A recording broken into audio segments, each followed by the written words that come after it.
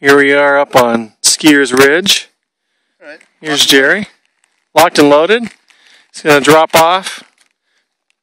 Down the air raising Click. 50 degree couloir with a 3,000 foot drop onto the glacier, having to drop the bergschrund at the last little bit. Here we go. All right, Jerry, show us your stuff.